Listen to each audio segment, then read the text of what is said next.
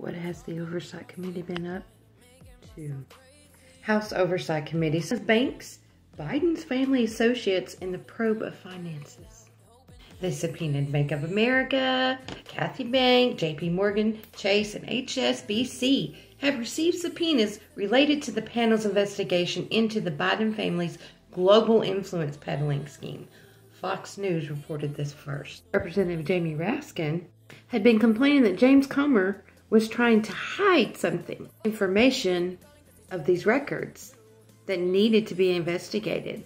Now, they had asked many times for them but was denied. Ranking Member Raskin has disclosed these subpoenas. Says this is a cheap way to thwart cooperation from the witnesses. Now, the American people and the media, which the media never asked anything, why? And what information are they hiding?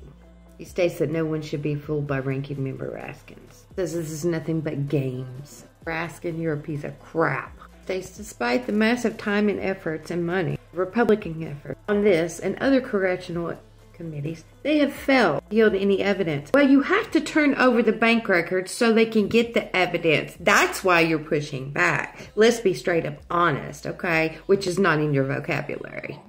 There was a Democratic memo sent out to them. This is quite comical. States that Republicans have not been publicizing their subpoenas or notifying the Democrats. What? They said they are being unaware that they were seeking these records. No, you knew they were seeking these records. They had tried multiple times in the past to receive the records, and you know it. On February 27th, Comer issued the document of the first subpoena as part of this ongoing investigation. I've asked for records from January 20th, 2009, 14 years worth.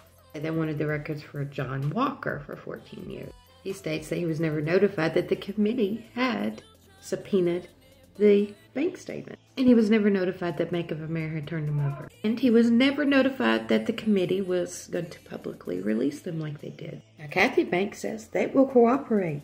Raskin, did you get a bit butt hurt because the Republicans grew some backbone and just took a page out of the Democrat Party's playbook?